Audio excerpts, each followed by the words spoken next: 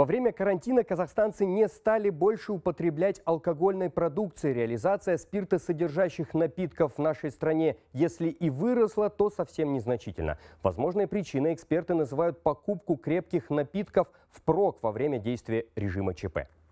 О том, как меняется рынок алкогольной продукции в Казахстане, расскажу в следующие несколько минут. Это актуально. Здравствуйте.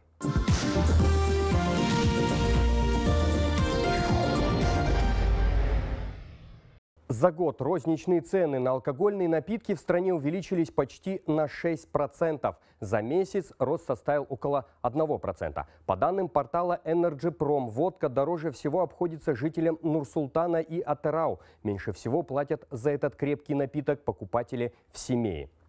Но дорожает не только водка, но и слабоалкогольные напитки. Пиво за год выросло в цене больше, чем на 7%, вино на 4%.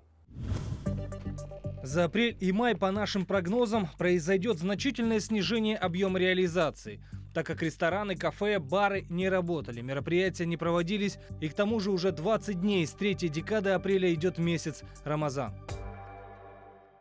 Ожидается, что в ближайшие месяцы реализация крепких напитков в Казахстане может еще снизиться, а вот слабоалкогольных, напротив, увеличится. Это ежегодные и ожидаемые сезонные колебания.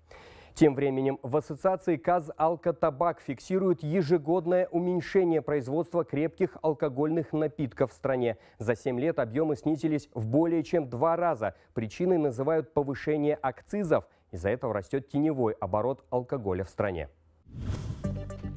Больше всего в Казахстане импортируют крепкие алкогольные напитки.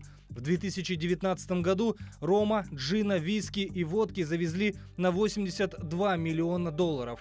В первую пятерку поставщиков входят Россия, Великобритания, Италия, Грузия и Украина. Всего около 15 стран-импортеров. О подделке алкоголя заговорили даже депутаты Мажилиса. Они обратили внимание на производство коньяка. Якобы этот процесс занимает сейчас от 3 до 5 дней. А в составе крепкого напитка очень часто ненатуральные ингредиенты. Стране утрачена система контроля за качеством коньячной продукции, которая на 90% изготавливается из сусла, некачественных завозных винных материалов, концентрата всех видов спиртов, включая китайский с примесью красителей и синтетических ароматизаторов. Сложилась ситуация, при которой контроль за алкогольной продукцией осуществляет только налоговая служба при Министерстве финансов, а их, как известно, интересует только название напитка и полнота сбора акцизов. Не лишним будет напомнить и о вреде алкоголя, особенно сейчас, в условиях карантина. Известно, что крепкие напитки снижают иммунитет. А даже одна бутылка пива в день при регулярном употреблении может вызвать у вас зависимость. Это актуально.